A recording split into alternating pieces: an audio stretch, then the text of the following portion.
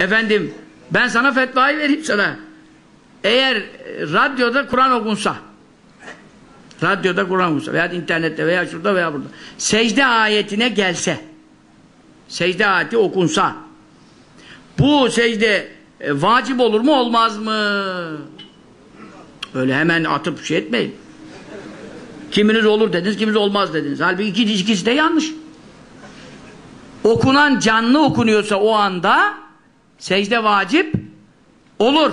Kayıttan okunuyorsa vacip olmaz. Anladın mı şimdi ne diyorum?